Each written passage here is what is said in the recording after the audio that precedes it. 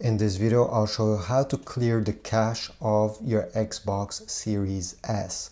Unfortunately, there is no way to do it through the menus. So today I'll just show you how to do it. First of all, we need to shut down your Xbox to turn it off. So keep press this Xbox logo on the controller, then go over there and select turn off console.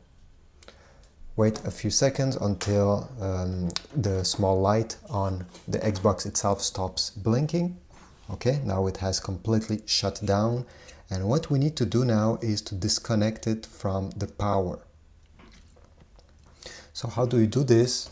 Well, you can actually uh, remove it from the power outlet or maybe in your case it's not easy accessible. Then what you can do is to simply remove this power cable like this.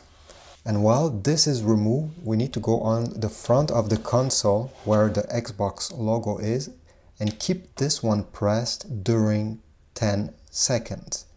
Okay now it has been 3 4 5 6 7 8 9 10 then finally finally after doing this you need to set the console for a minute. So do not touch it. Do not plug it back during a minute once the minute passed, then it's time to uh, bring back the power cable and to plug it in the back like this. And now we can launch it again. And your cache will be cleared by doing this procedure. It's a bit annoying. I wish this was in the menu like the Series X, but this is the way to do it on the Series S.